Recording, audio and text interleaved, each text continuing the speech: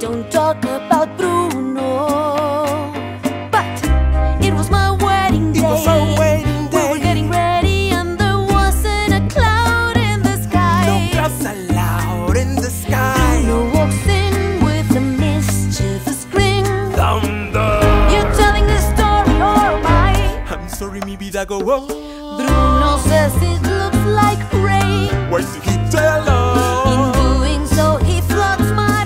I would like it's the umbrella. Flurry in a hurricane. What a joyous day, but I.